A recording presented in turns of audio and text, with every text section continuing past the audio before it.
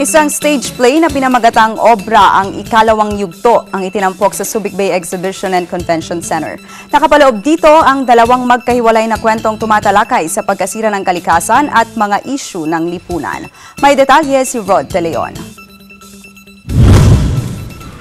Nagtanghal ang Teatro Gat Aitab ng Monrean Auro College ng isang stage play na pinamagatang obra ang ikalawang yugto sa Subic Bay Exhibition and Convention Center. Ang Teatro Gat Aitab ay isang theater organization ng isang kilalang kolehiyo dito sa Olongapo.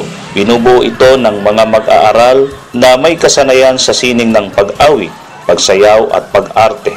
Ngayong taon ay isinaintablado nila ang isang palabas na pinamagatang obra ang ikalawang yugto. Ito ay napapalooban ng dalawang kwento na may magkaibang tema. Ang unang palabas ay Ang Labos. Umikot ang kwentong ito sa unti-unting pagkasira ng kalikasan dahil rin sa kagagawa ng mga tao. Sa patuloy na pag-unlad ng pamumuhay at teknolohiya, unti-unti namang napababaya ng kalikasan.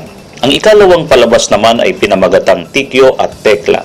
Ito ay isang komedya na nagpapakita ng mga isyu sa lipunan mula sa isang pamilya, politika, paaralan, mga kaibigan, pag-ibig at iba pang bahagi ng lipunan. Sa paraang pagpapatawa, ipinakita nito ang kahalagahan ng pamilya na nagsasama-sama sa hirap man o ginhawa. Apat na pagpapalabas ang isinagawa ng Teatro Gat Aitab sa loob ng dalawang araw. Humigit kumulang sa 4,000 panauhin ang nanood ng obra mula sa mga pribado at pampublikong paralan dito sa Olongapo. Kasama rin sa mga nanood ang ilang malalaking kumpanya dito sa SBMA. Ang pagtatanghal nito ay para sa 30 mga scholars ng nasabing organisasyon. Mula dito sa Olongapo City, Rod De Leon, Eagle News.